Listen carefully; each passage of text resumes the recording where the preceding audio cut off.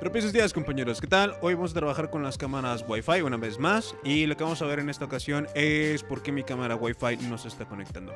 Ahora, no vamos a trabajar con una aplicación como tal en específico, realmente vamos a trabajar o vamos a hacer recomendaciones para todas las aplicaciones porque como pueden ver he trabajado con varias aplicaciones y, en mi experiencia se repiten siempre los mismos errores, ¿no? Que pueden ser básicamente lo que es poner la cámara en estado de configuración o en modo configuración, uh, el Wi-Fi la contraseña del Wi-Fi y la distancia al modem o los obstáculos que hay entre la cámara eh, y el modem, ¿no? Entonces, en eso se resumen. Vamos a ver poco a poco estos temas y pues bueno, si tienen alguna duda durante esta explicación, me lo dejan en la sección de comentarios y yo con todo gusto les ayudo a resolver sus dudas.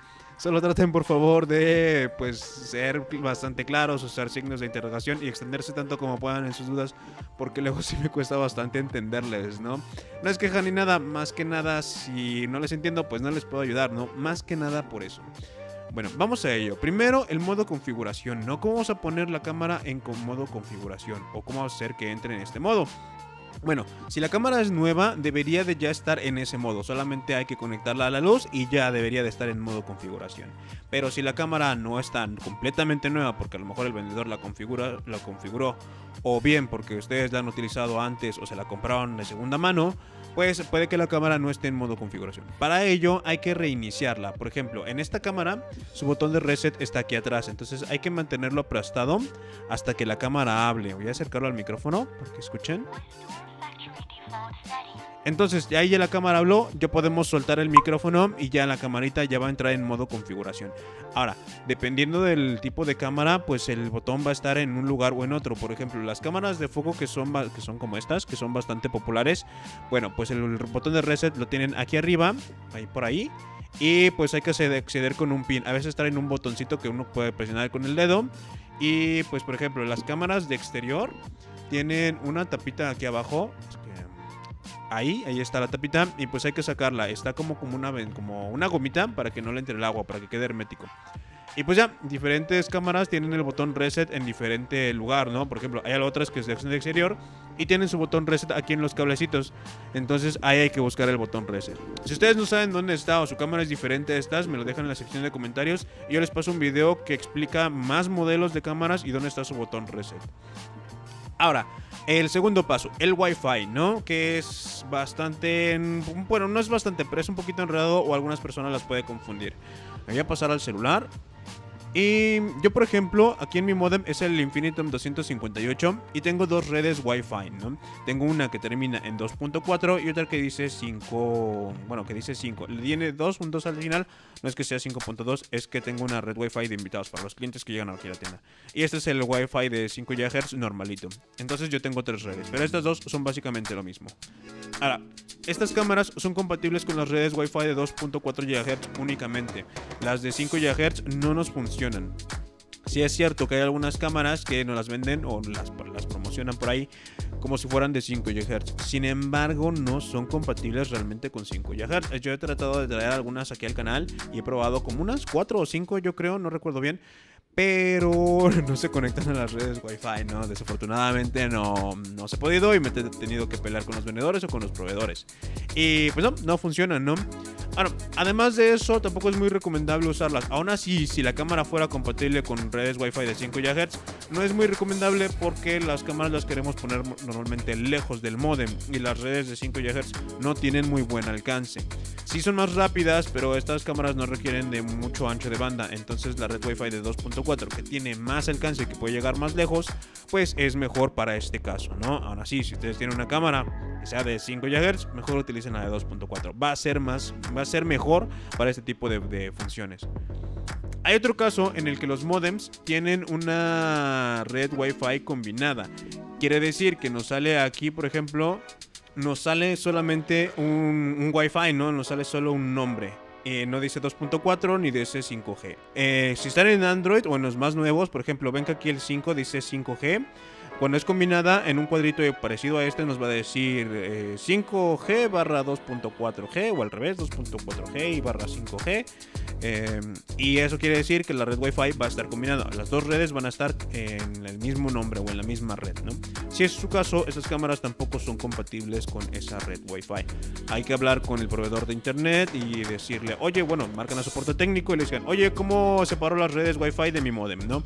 O si se quieren saltar ese paso y lo quieren hacer ustedes mismos, pueden buscar un tutorial en YouTube y se escriben, ¿cómo separar la red Wi-Fi de mm, las redes Wi-Fi de 2.4 y 5 GHz en mi modem? Y ya buscan el modelo de su modem al reverso del mismo. Y si alguien, pues ya les va a hacer, lo más seguro es que alguien ya hizo ese tutorial y pues les van, pues simplemente sigan los pasos que les indiquen, ¿no? Una vez que ya tengan resuelto esto, pues seleccionan la de 2.4 GHz y esa es la que van a utilizar para configurar su cámara. Ahora, el siguiente paso, que es la contraseña, ¿no?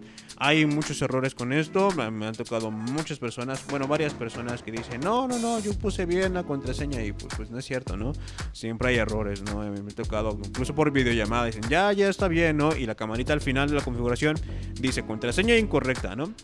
Y pues es que sí, es que hay que tener cuidado, ¿no? Si uno no la escribe bien, pues sí se puede uno equivocar. Entonces, ¿cuáles son las recomendaciones? Bueno, primero, no dejar un espacio al final, porque si ustedes dejan un espacio, eso cuenta como un carácter más y pues no les va a funcionar, no les va a agarrar.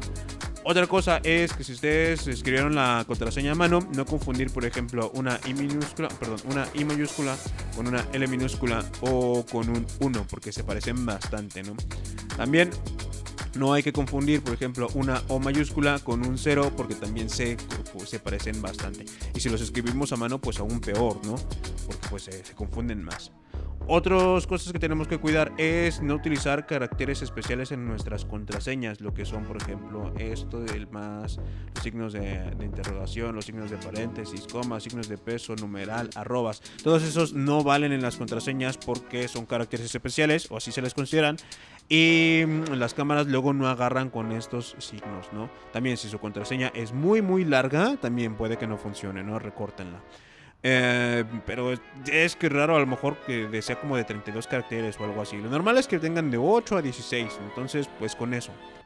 Y pues ya, en cuanto a la contraseña Wi-Fi, eso es todo. Si tengan mucho cuidado al escribirla, porque pues sí es donde más errores se cometen, porque justamente uno hay que escribir la mano, ¿no? Hay que, hay que picarle al teclado y ahí se pueden equivocar unos, ¿no? Ahora, el, la, el siguiente paso, ¿no? Que es eh, la distancia al modem, ¿no? Eh, muchas, preguntas, muchas personas me preguntan eh, qué alcance tienen. ¿no? Realmente no hay una respuesta fija porque tiene que ver con el siguiente punto que es los obstáculos entre el modem y la cámara. Si ustedes tienen un espacio libre que digamos no hay ningún obstáculo entre la cámara y el modem, a lo mejor puedan poner la cámara hasta unos 20-25 metros de distancia y va a estar funcionando bien. Pero sin ningún solo obstáculo, es decir, nada, nada en medio de entre la cámara y el modem. Pero, como en una casa normalmente no es así, ahí van a afectar mucho lo que son muros, estructuras metálicas, puertas, losas, que es la combinación de una estructura metálica y, una, un muro, los mismos muebles, puertas y ventanas, todas esas cosas pueden influir mucho en la calidad del Wi-Fi y hacer que el rango de la cámara se reduzca mucho. Incluso me ha tocado casos en los que ver que el modem y la cámara están a dos metros de distancia y no se conectan porque hay un muro eh, entre los dos y pues con eso ya no, porque el, el Wi-Fi le cuesta mucho atravesar los, modem, los muros y pues lo que tendría que hacer es rebotar en las demás paredes, pasar por un pasillo y luego ya a lo mejor conectarse, ¿no? Pero sí, a mí me ha pasado eso, he visto casos así en los que sí están a metros de distancia, pero aún así no conectan. Ahora, si aún así su cámara no se ha conectado, ya revisaron el Wi-Fi, ya revisaron la contraseña, ya están seguros de que su cámara está en modo configuración y ya están, ya han revisado todas las opciones y recomendaciones que les he dado. Bueno, lo que pueden hacer, tenemos dos opciones. Si ustedes están utilizando alguna aplicación en específico, me lo dicen en los comentarios y yo les paso un video específico para esa aplicación para que vean que los pasos también los estén seleccionando bien y que el modo de configuración sea el más recomendado, ¿no? Otra cosa que pueden hacer es para descartar variables y saber si la cámara es la que no funciona o si hay algún error con su modem o alguna configuración que esté bloqueada, pueden ir con un vecino, algún familiar, la pareja, el tío, quien sea, y le piden, oye, déjame probar mi cámara en tu modem, ¿no? Para ver si, eh, ver si puedo encontrar el problema, ¿no? Eso es lo que yo haría para descartar que la cámara esté funcionando bien o no, si tiene una falla o hay algún error de configuración del modem. ¿Sale? Y pues ya, creo que es todo lo que voy a cubrir en este video. Cualquier duda, como les decía, déjenmelo en la sección de comentarios lo más amplia que puedan, por favor, para que les pueda entender. Usen signos de interrogación y esas cosas. Y pues ya, espero se puedan suscribir al canal, dejar un like al video y esas cosas también, ¿no? Así que sí, quedo pendiente. Hasta luego.